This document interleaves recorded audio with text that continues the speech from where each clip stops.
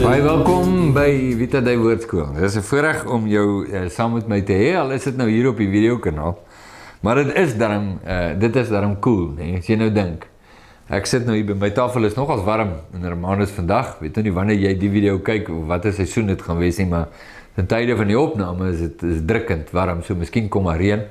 Ek sit hier in my op my stoep en jy sit waar jy nou ook al is. Miskien is dit in jou kar by die werk of wat ook al. Jy's dalk op jou foon of op jou rekenaar.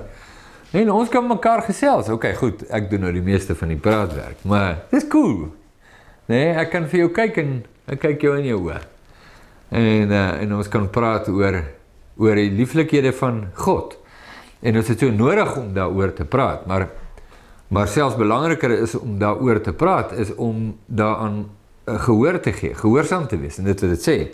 Nou ek wil baie graag hierdie video maak met die volgende onderwerp uh, nie omdat ons nog nie hieroor gepraat het op hierdie video kanaal nie. Ons het al, maar ek wil weer 'n video maak. Ek wil dit weer beskikbaar hê. Uh want ek dink is dis dis so belangrik en daar's so baie dinge wat uitvloei uit die waarheid dat Jesus die alfa en die omega van God is, dat hy die middelpunt van God is, van die heelal is, dat hy die absolute fokus van God is.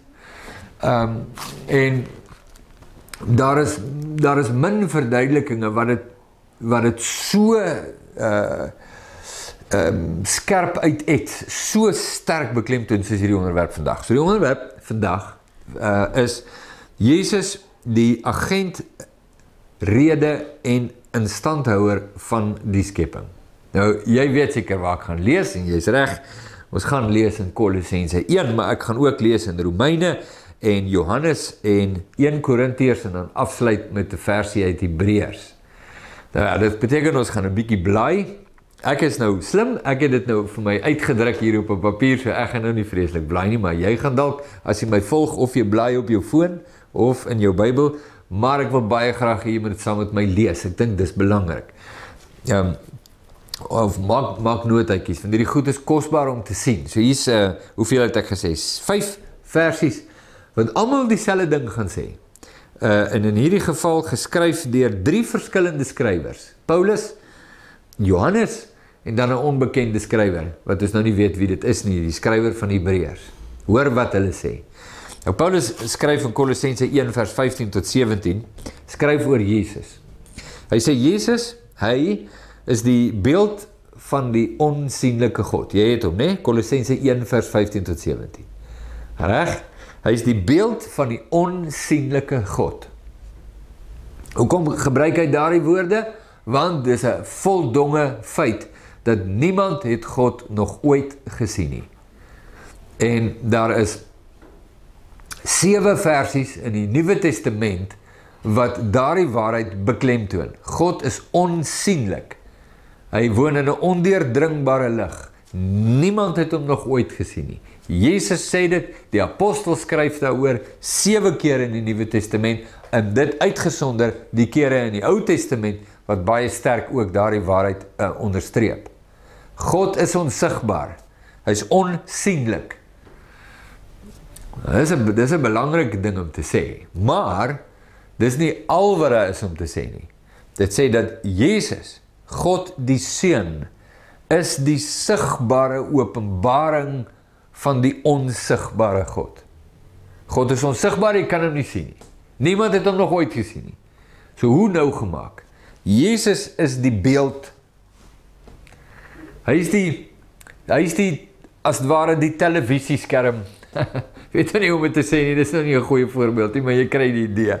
Hy is die sigbare van die onsigbare, die sigbare manifestasie van die onsigbare God. Die beeld van die onsigbare. Jy wil weet hoe is God? Jesus is die openbaring daarvan. Johannes 1 vers 18. Niemand het God nog ooit gesien nie, maar die enige gebore God wat in die boesem van die Vader is, die het hom verklaar. Hy het hom verklaar, hy het hom duidelik hy maak hom duidelik. Ek sê gesato, ek ken ons ek sê gesato. Hy verklaar hom. So vir my so mooi, hy is die eksegeet van God, Jesus. So skryf Paulus, is die beeld van die onsigbare God, die eersgeborene van die hele skepping. Nou hierdie woord, wil nou nie vreeslik daarop nou stil staan nie, maar gaan dit net vir jou noem, want jy weet, moenie dat die woord eersgeborene jou nou omverwerp deur te dink dat Jesus het 'n begin nie. Hy het nie. Want dis nie wat die woord eersgeborene daar beteken nie. Die woord eersgeborene, soos wat ek en jy lees sê, hy's eerste gebore, maar dis nie wat die woord beteken nie. Net om jou verder de mekaar te maak. Die woord eersgeborene in Grieks, prototokos, is ook gebruik om te praat van die die primarius van iets. Hy is die eerste onder wat ook al daar is. Wat die doel is hier. Hoe weet ons dis die doel? Want dit staan daar. Lees saam met my. Hy is die eerstgeborene van die hele skepping, bedoelende hy is die primarius van die hele skepping, want in hom is alle dinge geskaap. Dit sê nie hy is geskaap nie, dit sê hy het alles geskaap. Hy is die skepper, nie die skepsel nie. Want in hom is alle dinge geskape wat in die hemel en op die aarde is. In hom wat sienlik en onsienlik is, trone sowel as heerskappye, owerhede en magte, alle dinge is deur hom. Ons kan ook sê in hom en dan tot hom geskape. Jo, en ons het al baie hieroor gepraat op die kanaal nê, nee, om te sê maar hierdie goed is net ah, hierdie goed blaas jou globie die die agent van die skepping deur wie die skepping geskape is hoe kosbaar en wonderlik die skepping ook al is in sy makro en mikro uh staat die agent van die skepping is Jesus hy is die rede vir die skepping dis vir hom geskape as jy as jy nog steeds lei aan 'n selwaan dink 'n mens baie maklik dat die hele heelal draai om jou. En dis nie waar nie, dit doen nie.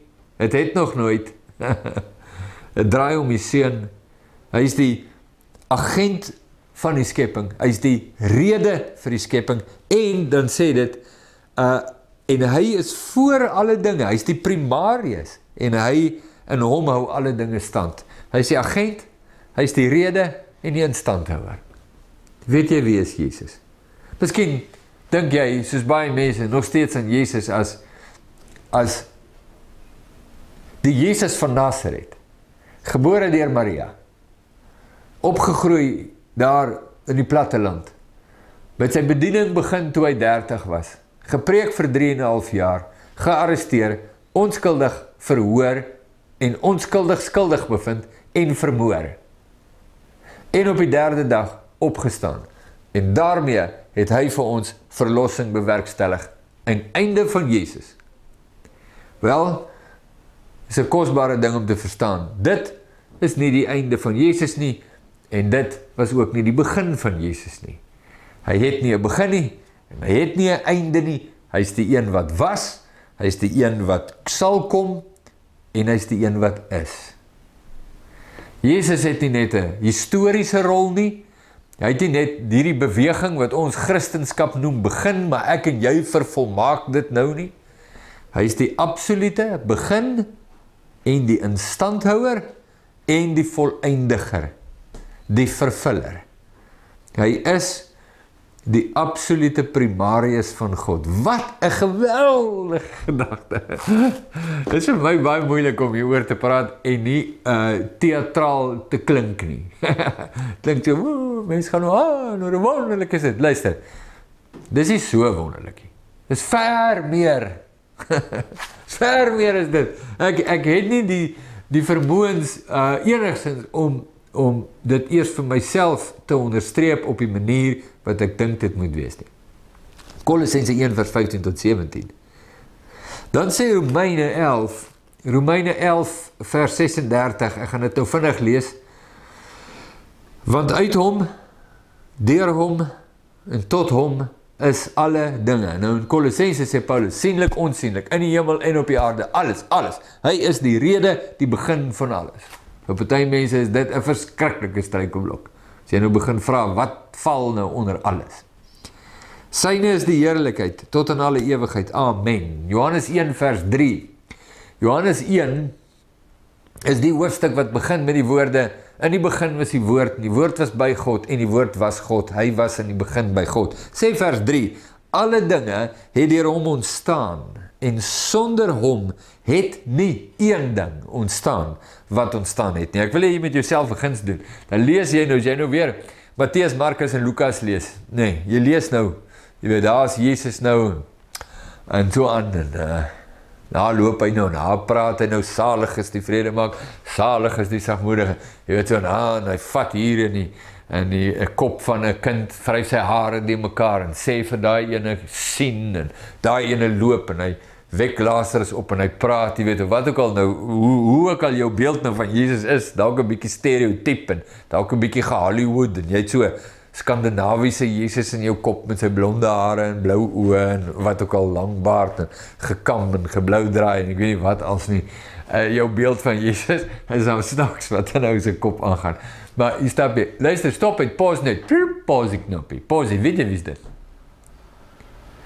Uh, weet jy wie is dit? nommer 1, hy lyk nie soos wat jy dink nie. En nommer 2, uh hy is nie wie jy dink nie. Hy's ver meer. Weet jy wie is dit? Aan Samaria Johannes 4 sit hy by die put praat met die vrou. Da, da, da, da. Sê vir as jy geweet het wie met jou praat. Sy het my gevra vir water. Lewende water. Sy het nie 'n klou met wie sy praat nie. Sy het nie 'n idee dat die een wat hier sit is die een deur wie lig geskape is. Die een wat hier sit is die een wat die hemel en die aarde geskei en geskape het. Visse, voëls, bome, gras, insekte, organismes galaksies sterrestelsels planete kragte magte die mens. Sy het nie idee dis hy nie. Hy lyk nie so nie. Hy sit hy 'n gewone ou sy het nie idee nie die disippels wat saam met Jesus in die boot is hulle uh Jesus slaap en die boot is besig om nou so semi te sink en alles en hulle slaan panic stations is net jy weet dis groot storie. En hulle maak hom wakker en sê ah, gee nie om nie. gee nie om nie. Die karakter is nie betroubaar nie. Wat maak jy? Wat hulle ook al sê. En Jesus staan op bestraf die wind. Doep. Als gaan lê. Wind gaan lê onmiddellik op sy pens gaan lê dadelik. Soos 'n bang hond golwe gaan lê. Hy bestraf die disippels en die disippels sê wat 'n soort mense is hierdie wat selfs die wind na hom luister. Dit is baie duidelik, hulle het nie 'n klou. Hulle het nie klou wie dit is nie en die kans is baie baie baie goed dat jy ook nie 'n klou het wie Jesus is nie. En dat Jesus in jou omtes is. Dat jy dalk Jesus beleef in jou familie, in jou gesin en dat hy met jou praat en dat jy hom net sommer so. Jy sê nie ag nee, ek stem nie saam nie. Dis al 'n bietjie erg. Nee, ek dink hom nou nie. Nee, wat? Nee, ek ek dink God sal verstaan as ek nou nie hier aan gehoor gee nie. Jy praat sommer so met Jesus asof hy sommer net so, hy's jou partner. Hy's jou hy's jou gamba. Hy's hier op die toneel. Julle is vennote. ons is uh ons op die respek met hom kenne nie. Dit is verskriklik. Dit is 'n onsaglike verleentheid. Johannes 1 vers 3 sê alle dinge het deur hom ontstaan en sonder hom het nie een ding. Nou die rede hoekom Johannes dit skryf is dat ek en jy moet verstaan, daar is nie uitsondering nie. Daar's nie uitsondering nie. Daar's nie een ding wat ontstaan het wat nie deur hom ontstaan het nie. 1 Korintiërs 8 vers 6, tweede laaste skrifgie, sê tog is daar vir ons maar een God, die Vader uit wie alles is en ons tot hom en een Here Jesus Christus deur wie alles is en ons deur hom. Verskillende woorde om presies dieselfde ding te sê. Laaste versie is Hebreërs 1 vers 2. Dit praat oor Jesus. Praat oor Jesus, God die Seun en God die Vader en dan sê hy God die Vader het God die Seun as erfgenaam van alles aangestel deur wie hy ook die wêreld gemaak het Vyf vinnige versies in die Nuwe Testament om te sê dat Jesus is die agent, die rede en die instandhouer van die skepping. En dit is waar ons dan nou kom by die stelling om te sê so 'n lekker stelling. Die stelling sê Jesus is nie belangrik nie. Hy's alles. Moenie moenie Jesus reduseer tot die status van belangrik nie. Hy is ver meer as dit. Hy is alles. Hy is die primarius. He is truly the Lord of all. Geen uitsondering. Wat de gedachte, hè? In elke knie.